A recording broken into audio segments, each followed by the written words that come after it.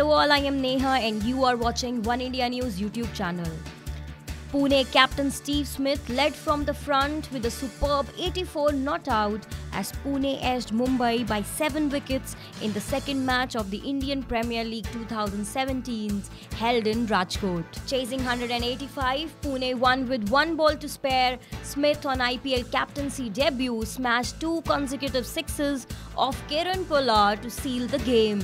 Captain Steve Smith dished out an unbelievable unbeaten knock of 84 runs under pressure in a tense last over finish. Former India captain Mahendra Singh Dhoni's inability to finish off this match put pressure on the home side, and Smith, on the other hand, pulled off a sensational innings at the same ground where he had smashed a century to set up a memorable win for Australia in the recent Test series. Pune needed 13 runs from the final over and Smith hit a 6 off the fourth ball, needing another 4 for a win from 2 balls.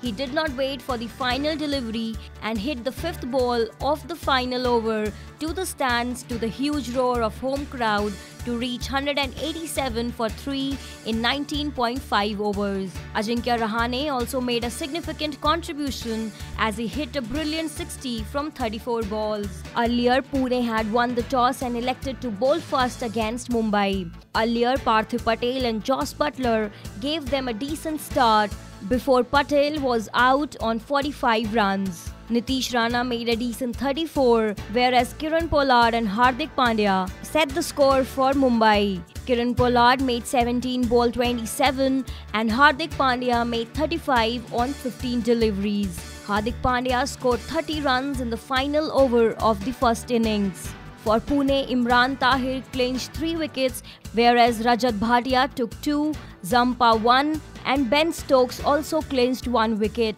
In reply to Mumbai's 184 runs, Pune got a decent start before Mayank Agarwal was sent back to the pavilion at the score of 6. After that, Rahane and Steven Smith tailored the innings before Rahane was out at the score of 93.